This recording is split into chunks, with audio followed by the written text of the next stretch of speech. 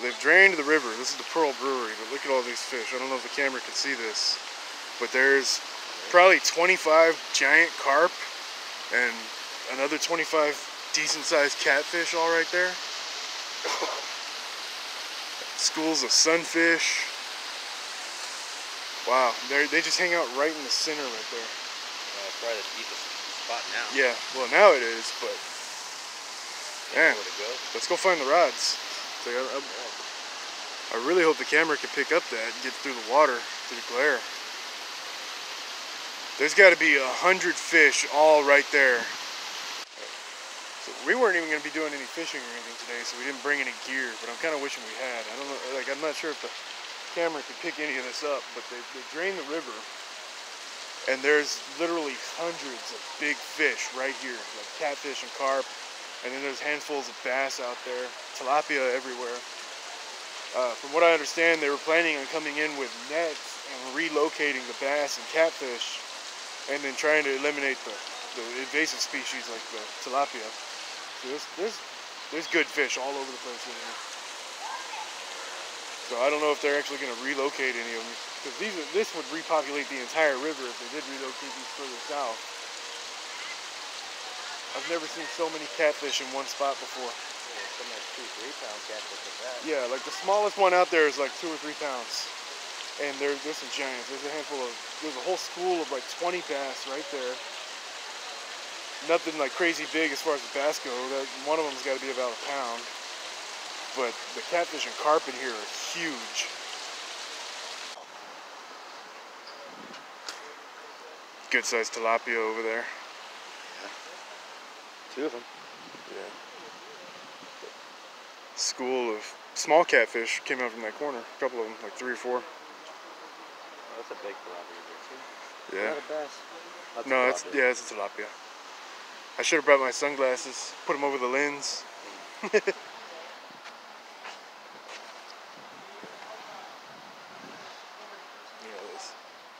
This is the craziest thing because I've seen three, three to four pound bass pulled out of this hole right here, and there's just bricks. What's funny is I'm not seeing a whole lot of debris like from people throwing stuff in. Maybe they've cleaned out a lot already. I think they just drained it yesterday. So, Yeah. what's that? I didn't know there was that big of a depression. Uh, yeah, that that drain right there, that or that pipe. it's funny because I've always caught fish in that corner right there, but I never knew this was right here. You know, you know they'd be stacked up in there in the wintertime. Oh Look at that. There's a big tilapia just hiding right there. yeah. Mm-hmm. the turtle. So this is something they used to do every single year. That's why the fishing downtown was never any good. Because they would, they would drain it every year. They even had the mud festival and like people would like go and metal detect in there and find stuff. Yeah, they used to do this every year to uh, clean out all the trash and mud and muck and everything on the bottom of the river because it would clog up the whole channel, the whole river would get clogged up with that stuff. So they would do it every year, and then they they did something that solved that problem. So now they only do it every like three to four years, I think. So that's what they're doing right now. It's actually really interesting to come and see what the the landscape really looks like that, that we've been fishing in. So it, it's a lot different than I expected it to be. I mean, for the most part, like over here, it's about what I expected, but I expected it to be like flat, not so many rocks. There's a lot of rocks and stuff in there that I didn't expect to see. And drain pipes and all kinds of like crevices and places thing places for people to hide. And there's somebody fishing up here, so let's go talk to him and see. He might not want to be on camera, but it looks like he's fly fishing. Yeah, he's fly fishing, so I don't know if he wants to be on camera, but uh, I'm gonna go talk to him for a minute and see see how he's doing. So they're probably 18 inches each. Yeah, at least 18. Good. Well, that one's probably about 15, and then the rest are up around 18, maybe more. I saw a way bigger one that way though. Yeah. That one was pushing at least 25 inches. See, but I've also had these chase after Senkos and stuff out here too. when you can see them. Yeah, they Man. big. But yeah, the guy that was fly fishing, he definitely knew what he was talking about. He uh, apparently we just missed him landing about an eight to ten pound carp, and uh, we I didn't record it, but we even saw a big koi, like a giant orange koi in here, which he says he's been seeing that one for a long time and trying to chase it and catch it, but there's some nice bass. and uh, but yeah, I'd never seen it down here. I had no idea the population was actually this strong for like the numbers of fish that are here. Like I knew the tilapia was like this, but I didn't know the carp and catfish were like this. Tilapia, there's something, maybe a pleco or something right there on the bottom. Oh, right there too. Yeah. Is that a bass? That's what I was looking at. The, the one right here that's not moving looks like a bass. Catfish down there. Kind of good to know right here. Yeah, I didn't know there was a hole. Look, there's look at that. Oh, that's a pleco. Never mind. I didn't know there was any kind of holes like that over here. Oh, yeah. It's a drain underneath the, the underneath the sidewalk. It goes under, it. like that over there.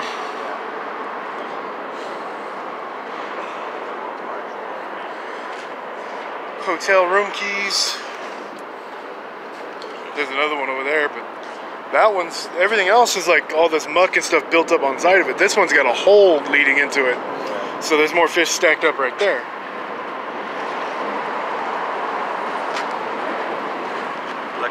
Yeah, a handful of them.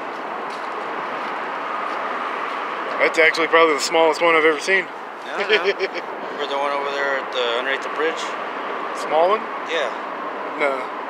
Yeah, we were underneath the where Record Ridge is at. Oh yeah. That little tiny one. It was about to freeze the next day. Like it probably won't survive. Yeah. That's crazy. And like the smallest one in there is at least two pounds. All those carp.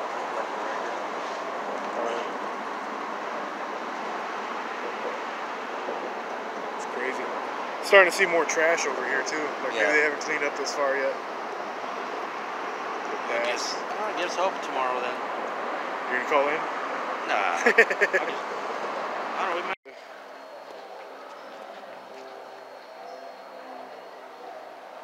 It's one of the biggest bass I've seen so far today. Maybe 10 inches, not too big. Here we go. What do we got here? Let me zoom out. So yeah, we have a few January days. 6th to the 9th. We have a few days then. Okay, so they just drained it today then. So, yeah. Yesterday. Yeah, one of these days. But if they drained it yesterday, the shuttle would have been shut down yesterday. I mean, it probably would. That's there's a school of tilapia here following at least a three pounder, three pound bass. That's the biggest bass. That's the biggest bass we've seen today Yeah. by far. Like he's three times bigger than anything else we've seen.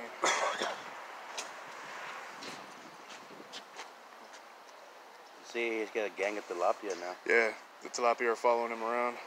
He's probably protecting them. He's pushing them around. You see that? That thing is huge. It's gotta be largy. Yeah, he's definitely a largemouth. I don't know. It's kind of dark though.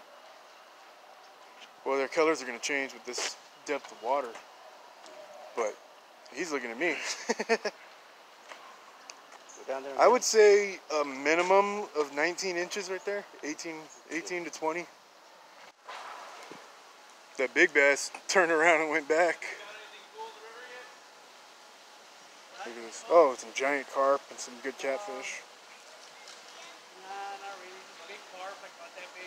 Really? Yeah. And then if you go further down over there, there's a whole group of carp and tilapia over there. Just two cuttings, they're about that big.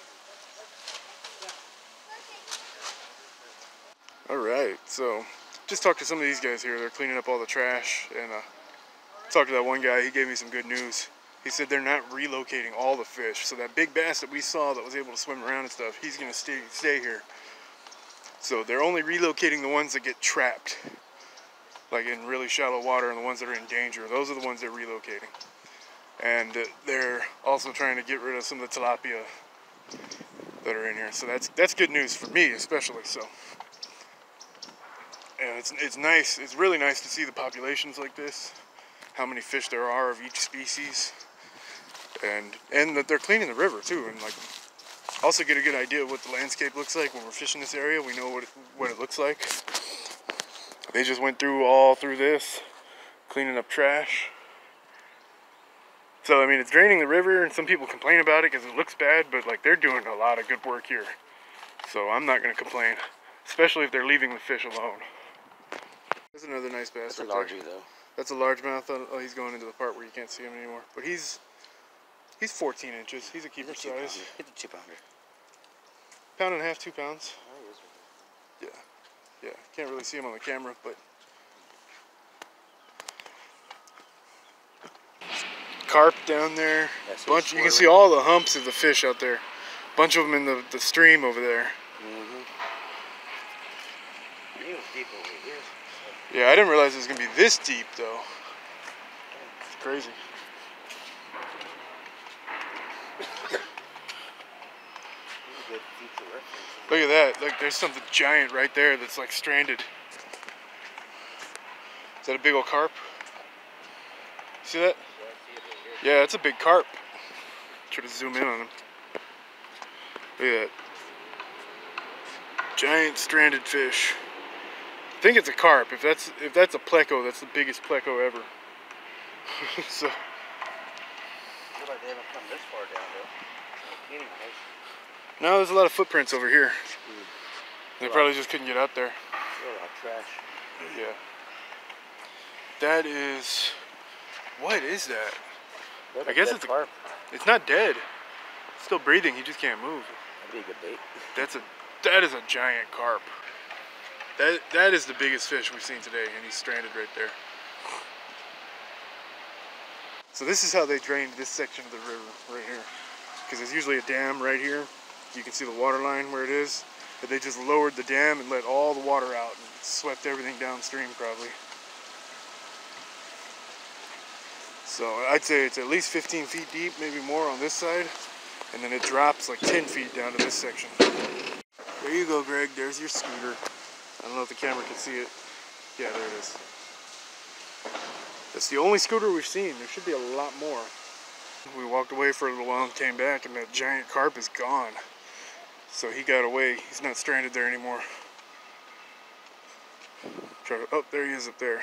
Oh no, that's a giant tilapia. Never mind. Don't see the carp though. It cleared up over here, and the carp's gone. Yeah, he got out. I don't know where he went. Right yeah, there's some. Yeah, that's probably him right there. He's Zoom in. flop himself out of there. Yeah, that's probably him right there.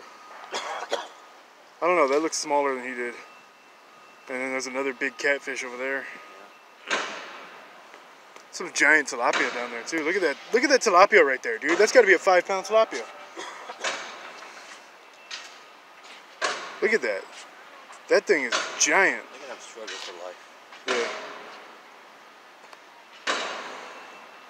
Hey, there's the big koi.